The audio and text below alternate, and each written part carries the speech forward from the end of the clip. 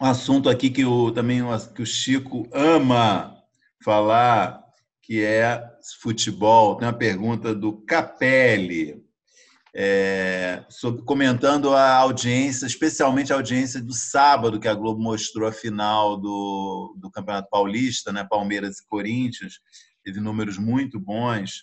Ele pergunta é, se é uma pergunta, na verdade, mais para o mundo do futebol do que de televisão, né? Mas se ele acha se a gente não acha que jogos eliminatórios são, não são muito mais atrativos para emissoras e patrocinadores é, do que esse formato do Campeonato Brasileiro, que é, né, é, pontos corridos, então tem muitos jogos que não, não valem nada, evidentemente. Valem nada. Né? Isso, eu acho que o cara fez essa pergunta para te agradar, né, Chico? Esse cara aí é mais que um seguidor, é um fã, é um amigo. É.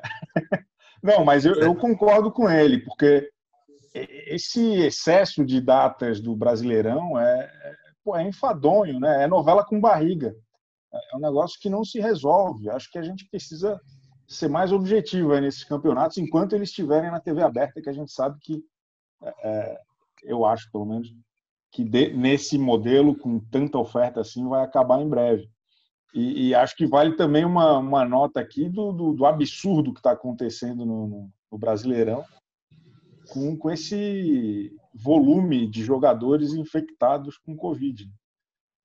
A CBF acabou de cancelar o jogo entre CSA e Chapecoense porque tem 18 jogadores do CSA infectados. É, como que um que, que produto é esse, né, que a TV está exibindo e que que a TV está é, promovendo num momento como esse. Assim, o Maurício até escreveu sobre a questão do cavalinho do Fantástico, do Tadeu Schmidt, o Fantástico tratando tudo como uma grande brincadeira, com leveza e, e alegria.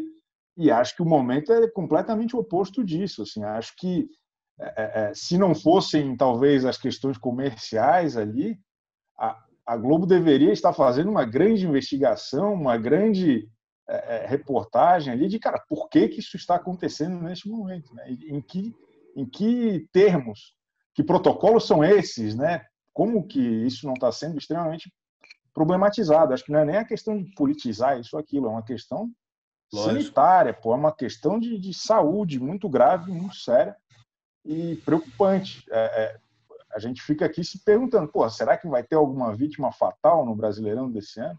Será que o, o, o ópio do povo custará este preço, sabe? É, eu estou bem preocupado, estou achando tudo muito estranho e acho que a gente tem que problematizar mesmo. Qual